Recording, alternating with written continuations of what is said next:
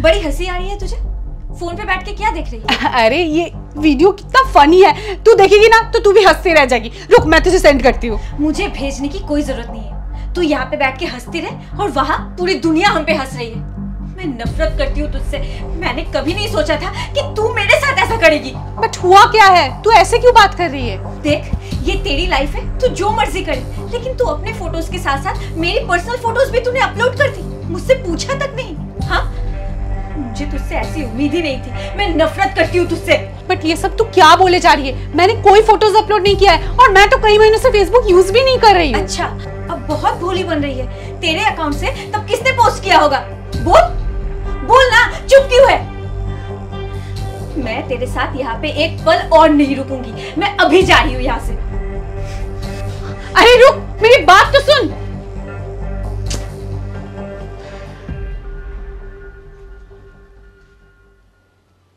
ये क्या?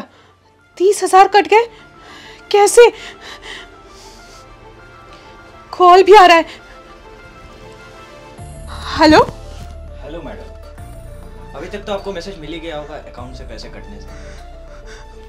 और हाँ पुलिस के पास जाने की कोशिश भी मत करना। कौन हो तुम? कौन हो तुम? मैं कौन हूँ ये इम्पोर्टेंट नहीं है। मैं क्या चाहता हूँ ये इम्पोर्टेंट है। अभी तो बस मैंने आपके सिर्फ़ पैसे छीने हैं। अगर आपने मेरी बात नहीं मानी तो मैं आपका सुख चैन इज़्ज़त सब छीन तुम हो कौन? और तुम ये क्या बकवास किए जा रहे हो? मैं क्या बकवास कर मैं जानता हूँ कि आप मुझसे मिलने के लिए बेचैन हो। तो ठीक है ठीक शाम पाँच बजे एमजी रोड के पास वाले पार्क में मुझसे मिलना। बाय हेलो हेलो हेलो ये कौन है यार?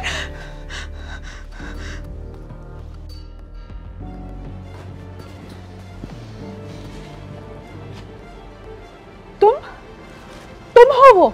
जी हाँ मैं वही हूँ जिसने आपका मोबाइल रिपेयर किया था।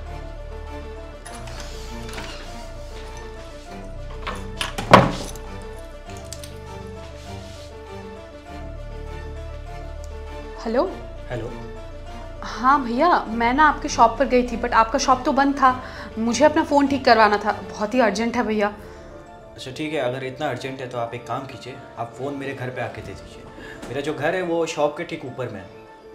अच्छा ठीक है भैया मैं आती हूँ। ठीक।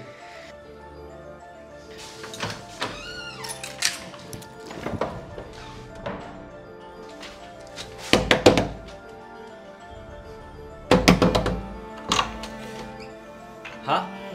भैया वो मुझे फ़ोन ठीक करवाना था। आप देखिएगा ज़रा। अच्छा आपने मुझे कॉल किया था क्या आज? हाँ भैया। दीजिए।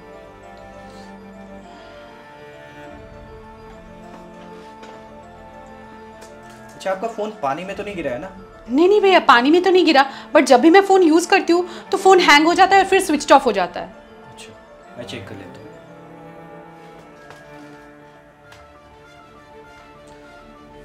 देखिए आप एक काम कीजिए आप फ़ोन को मेरे पास छोड़ दीजिए। मैं फ़ोन बना के रखूँगा आप शाम को आठ बजे आके ले जाइएगा।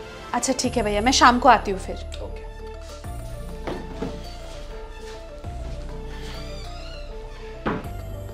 कुछ याद आया? अभी तो मैंने सिर्फ़ फेसबुक पे तीन चार फ़ोटो ही पोस्ट किया है आपका। मैं तुम्हें कभी नहीं छोड़ूँगी। रुको मैं अभी पुलिस को कॉल करती हूँ। ओ मैडम बेवकूफ़ समझते हो क्या मुझे? करो पुलिस को फ़ोन और मैं अभी तुम्हारी सारी फ़ोटो पोस्ट करके वायरल करता हूँ। करो करो ना। प्लीज़ प्लीज़ ऐसा कुछ मत करना। देखो तुमने ऑलरेडी तो पैसा ले ही लिया है। अब तुम्हें क्या चाहिए? देखो मैं तुम्हारी सारे फ़ोटो डिलीट कर दूँगा लेकिन बदले में मुझे तीन लाख रुपए चाहिए। तीन लाख? इतने सारे पैसे? इतने सारे पैसे मैं कहाँ से लाऊँगी? तुम्हारी प्रॉब्लम है। पैसे कब और कहाँ लाना मैं तुम्हें कॉल करके बता दूँगा। और हाँ ज़्यादा चालाकी करने की कोशिश मत करना। वरना तुम अच्छे तरीके से जानती हो मैं तुम्हारे साथ क्या कर सकता हूँ। चलता हूँ। प्लीज़ सुनो एक मिनट मेरी बात तो सुन लो। Oh shit, मैं क्या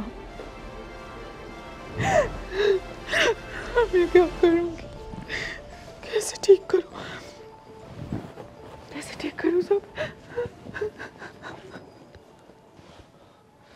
बहन। पानी पी ले। पानी पी ले।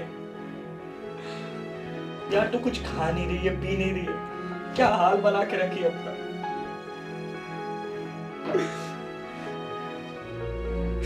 क्या करूँ मैं? कुछ समझ में नहीं आ रहा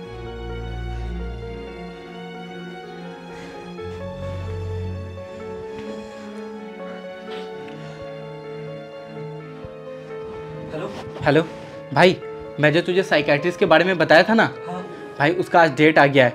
भाई तू अपने बहन को ना आज ही का आज उसके पास लेके जा और वो हंड्रेड परसेंट तेरी बहन एकदम ठीक हो जाएगी। भाई मेरी बहन ठीक हो जाएगी अरे हाँ भाई एकदम ठीक हो जाएगी। अभी का अभी तू लेके जा वहाँ। अच्छा ठीक है। भाई तू मुझे उसका एड्रेस भेज। हाँ हाँ मैं अभी भेजता है।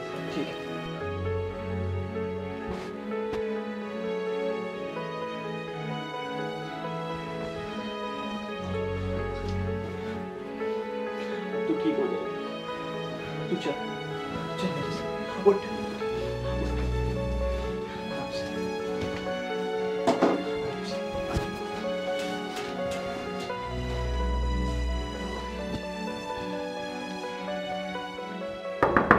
मैं ma'am yes please come in चलो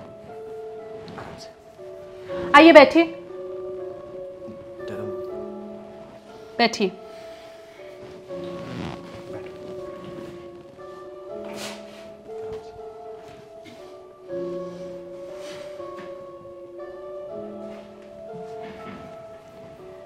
बताइए, क्या प्रॉब्लम है? I am sorry ma'am ma'am ये मेरी बहन है। मैम इसकी हालत बहुत ही ख़राब है। ना ठीक से कुछ खाती है, ना बात करती है। बस रोती रहती है और पता नहीं क्या सोचती रहती है। मैम मुझे एक बात तो समझ में आ गया। इंसान की गलती की सज़ा उसे ज़रूर मिलती है। मैम दरअसल कुछ दिन पहले इसका फ़ोन किसी ने हैक कर लिया था और इसके फ़ोटोज़ वायरल कर दिए थे। उस घटना की वजह से इसकी ऐसी हालत हो गई। वो तो अभी जेल में है लेकिन ये वो घटना को भूल नहीं पाई है। देखो ज़ाहिर सी बात है कि किसी भी लड़की के साथ अगर ऐसा हादसा होगा तो डिप्रेशन में चली जाएगी। मेरे साथ भी ऐसे ही हुआ था। खैर छोड़ो। तुम्हारी बहन जल्दी ही ठीक हो जाएगी। मैं उसका ट्रीटमेंट करूँगी। मैम मैंने आपके साथ जो भी किया मैं माफ़ी के तो काबिल नहीं हूँ लेकिन उसके बावजूद आप मेरी बहन का इलाज करने के लिए तैयार हो थैंक यू सो मच अगर हो सके तो प्लीज़ मुझे माफ़ कर दीजिए। देखो अगर देखा जाए तो हम दोनों का काम लगभग सेम ही है। तुम खराब फ़ोन का इलाज करके उन्हें ठीक करते हो एंड मैं लोगों का इलाज करके उन्हें ठीक करती हूँ। पर तुम ही एक बात सोचो अगर कोई तुम्हारी बहन का गलत ट्रीटमेंट कर दे तो एक गलत ट्रीटमेंट से उसकी पूरी ज़िंदगी बर्बाद हो सकती है। तुमने अपना पावर का गलत इस्तेमाल किया है। मुझे अपनी गलती का एहसास हो गया। मैं आज के बाद से फिर कभी ऐसा नहीं करूँगा। लेकिन एक बात मुझे समझ में नहीं आई। मेरी गलती की सज़ा मेरी बहन क्यों सह रही कोई बात नहीं। तुम टेंशन मत लो।